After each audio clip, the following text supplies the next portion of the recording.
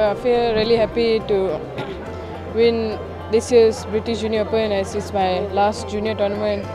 I only won it once in 2015 and the rest was just like mostly semi-finals.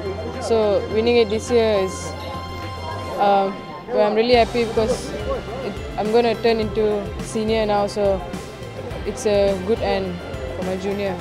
After World Juniors, it's always British Junior, so I think it's a really good boost for me to enter the senior level. So. Uh,